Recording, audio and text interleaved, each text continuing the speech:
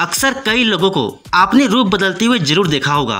ऐसे लोग अपना हुलिया बदलकर लोगों को ठगने का काम करते हैं। इसी कड़ी में जापान का एक शख्स लोगों को पिछले लंबे समय से लड़की बनकर धोखा देता आ रहा था। वहीं जब उसकी असलियत खुली तो पता चला कि वह लड़की या कोई महिला बाइकर नहीं, बल्कि एक 50 साल का आदमी है। ये घटना सोशल मीडिया पर चर्चा का विषय बनी हुई है। मामला जापान का है, जहाँ पर एक शख्स सोशल मीडिया पर कई सारे लोगों को लंबे वक्त से लड़की बनकर धोखा दे रहा था। ट्विटर पर कई सारे लोग इसे एक लोकप्रिय महिला बाइकर के रूप में पहचानते थे। तस्वीरों में आप देख सकते हैं कि ये कैसे एक सुंदर महिला बनकर बाइक के साथ खड़ा है। इन तस्वीरों को देखकर कोई भी आसानी से धोखा खा सकता है।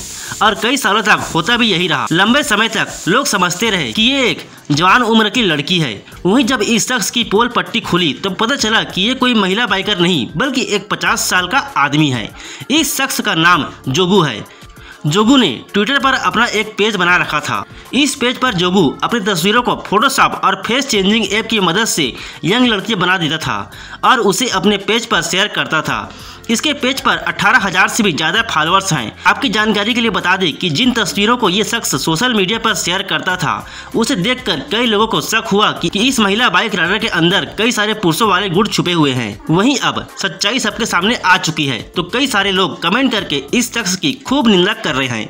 लोग इसे धोखेबाज और मक्कार बता रहे हैं। वही दूसरी तरफ़ कुछ लोग जुगू के इस टैलेंट की तारीफ़ करते नहीं थक रहे हैं।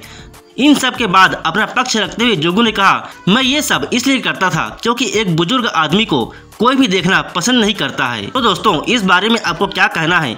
कमेंट करके अपनी राय ज़रूर बताएँ और मेरे चैनल को सब्सक्राइब करना नहीं भूलेगा। धन्यवाद।